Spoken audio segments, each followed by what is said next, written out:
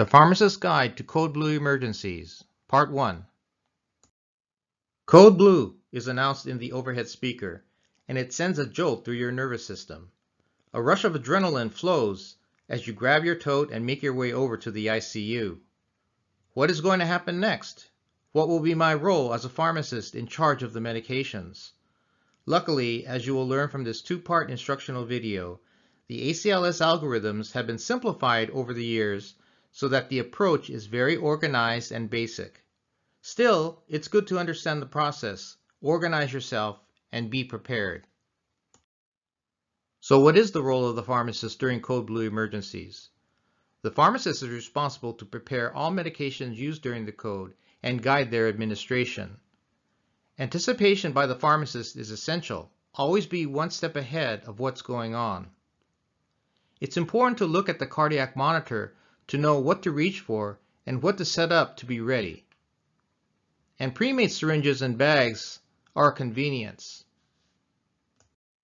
You may have seen the chain of survival before. This chain applies to cardiac arrest outside the hospital.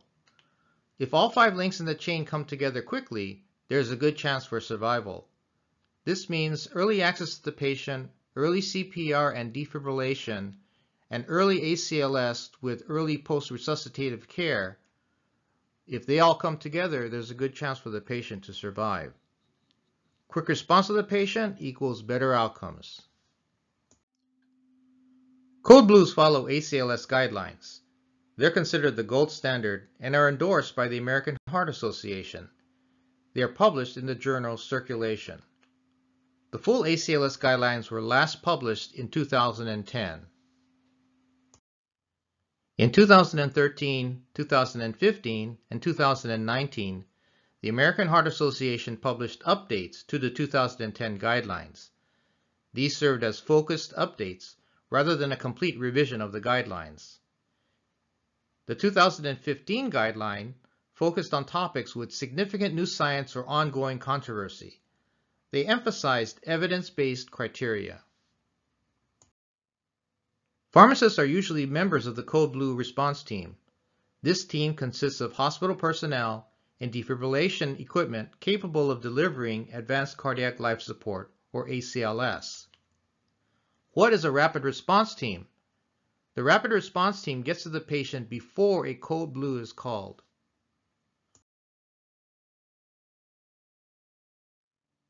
It's important to know the three major types of cardiac arrest, asystole or flatline, pulseless electrical activity or PEA, and pulseless VTAC or VFib, ventricular tachycardia or ventricular fibrillation. What does the term ROSC mean? ROSC stands for Return of Spontaneous Circulation. It's the resumption of a sustained heart rhythm that perfuses the body after cardiac arrest.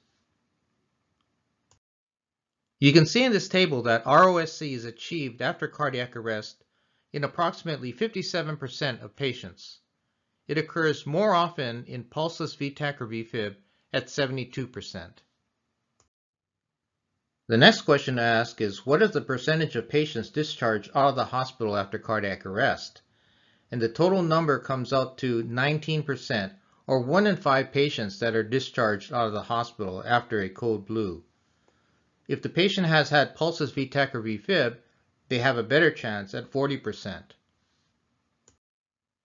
So ACLS interventions, including IV drugs, resulted in an increased rate of ROSC, but there was no statistical difference in survival to hospital discharge.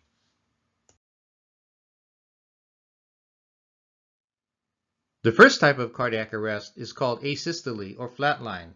You can see on the cardiac tracing that there is no discernible electrical activity on the ECG. Here's the ACLS algorithm for asystole. It's very simple as you can see. Administer CPR, intubate and establish IV access, and then administer epinephrine 1 milligram IV push every 3 to 5 minutes. Let's talk about epinephrine.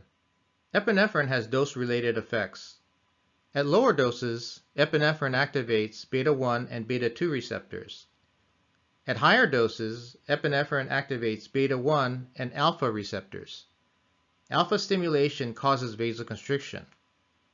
This vasoconstriction preserves blood flow to the brain and heart. It also increases coronary perfusion and cerebral perfusion pressure during CPR. A major side effect of epinephrine is that it can irritate the heart, causing arrhythmias. The dose of epinephrine is 1 milligram every 3 to 5 minutes. Caution should be used because epinephrine comes in different concentrations depending on the dosage form. The most common dosage form that's used during code blue emergencies is in the bottom left picture, which is the pre-filled syringe. This contains 1 milligram per 10 ml. In contrast, the ampule in the middle has the same amount of drug, 1 milligram, but in only 1 ml of solution, so it's highly concentrated. This drug or dosage form is used for bee stings or anaphylactic reactions, where you need to give a dose uh, either IM or sub-Q. The vial to the right in the right picture shows the high dose epinephrine. Uh, it's one milligram per ml concentration. This vial is used for administration of high dose epi and also for manufacturing purposes. Occasionally, high-dose epinephrine is requested. It does have a demonstrated ROSC advantage. However, because of its lack of proven efficacy as far as survival benefit and concerns of adverse effects such as arrhythmias, high-dose epi is not recommended by ACLS in cardiac arrest. If asked, these are the high-dose epinephrine regimens that have been used in the past, either escalating dose epi or high dose epi. Vasopressin is an endogenous hormone. It causes profound vasoconstriction similar to epinephrine. Vasopressin did not show benefit for ROSC or survival to discharge compared to epinephrine. Therefore, it was removed from the ACLS guidelines in November of 2015. Current guidelines state that it may be used in combination with epinephrine but not as a substitute for it. Isoproterenol or Isuprel might be used in asystole, but it is not ACLS recommended. It's a pure beta agonist activating beta 1 and beta 2 receptors. It speeds up the heart on the adrenergic side. However, we can only give it as a drip, never give it as IV push, and the side effect is that it is highly arrhythmogenic.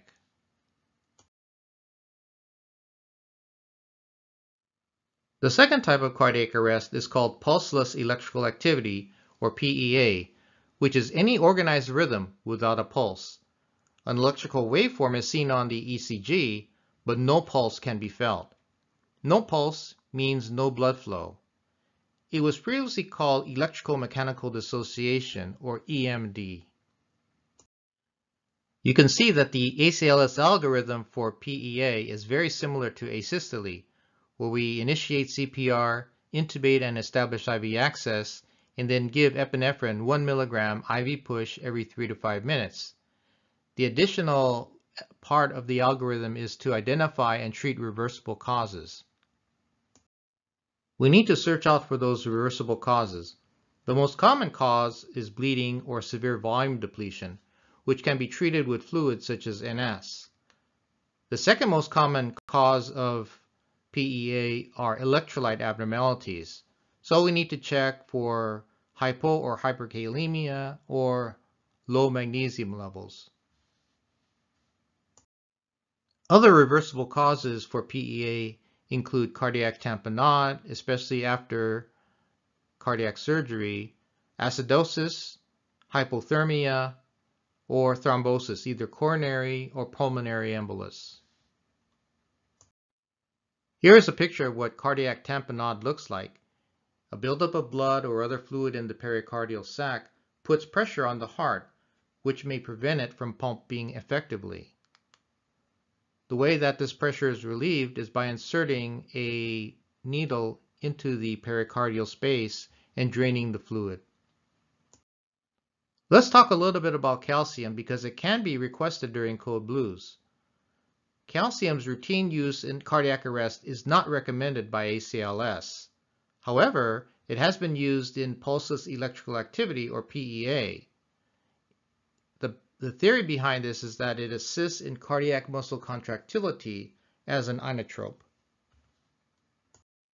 When can calcium be used per ACLS guidelines? The three really true indications for calcium are hypocalcemia, hyperkalemia with associated EKG abnormalities, and calcium channel blocker overdose. Let's talk about some of the differences between calcium chloride and calcium gluconate. Calcium chloride contains more calcium than calcium gluconate. It's about three times as much elemental calcium in calcium chloride. Calcium chloride is ionized and rapidly released, so it is the dosage form that's used in code blues. Calcium gluconate, on the other hand, is slowly released. It can be given peripherally and is less irritating on the vein, but is not used during code blues.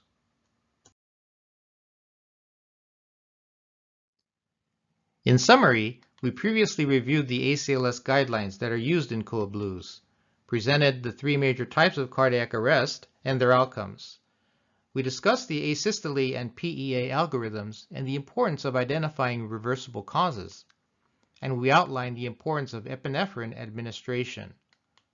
Next up, we're going to review the VFib VTAC ACLS algorithms, describe the use of the antiarrhythmics amiodarone and lidocaine, and present other drugs and routes of administration used during cardiac arrest. Thanks for tuning in to watch this installment of the PharmEZ Tutor. I hope you learned something that you could use at school or in practice. If you'd like to continue to see more of these types of tutorials on YouTube, please make sure to click on the subscribe button below to change it from red to gray. Also, if you like this video, I would appreciate it if you can click on the thumbs up icon below to change the color to blue.